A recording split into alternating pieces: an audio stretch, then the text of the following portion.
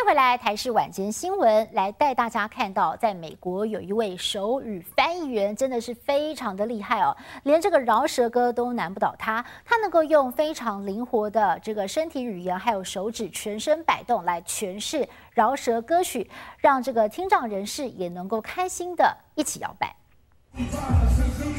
饶舌歌手在舞台上舌灿莲花，他在一旁舞动双手，跟着节奏韵律炒热现场气氛。他是手语翻译员加列哥，用手指诠释歌曲。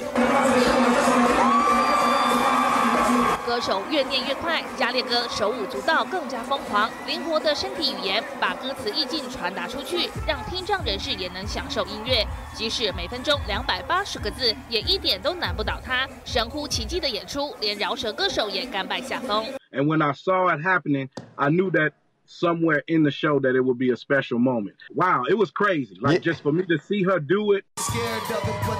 加列哥精湛的演出引发话题。其实他在饶舌圈小有名气，曾经参与超过四百场演出，合作对象包括阿姆、史努比狗狗、苏可达硬汉等知名饶舌歌手。他对手语翻译员工作有自己一套诠释。If we merely show the sign for music, then we are doing an injustice as an interpreter. 加列哥会把歌词融会贯通，而不只是纯粹按照字面翻译，但每一字每一句都得同步跟上，活灵活现的手上功夫让人大开眼界。That's the whole reason we go to music events is to be a part of this experience and forget about the rest of the world and be there in that moment. And so many times deaf people are not allowed that experience because we as hearing people choose to say no. 不少人看了加列哥的表演都相当感动，今世世界纪录也邀请他申请最快手语翻译。看来不久之后又会诞生一位世界纪录保持人。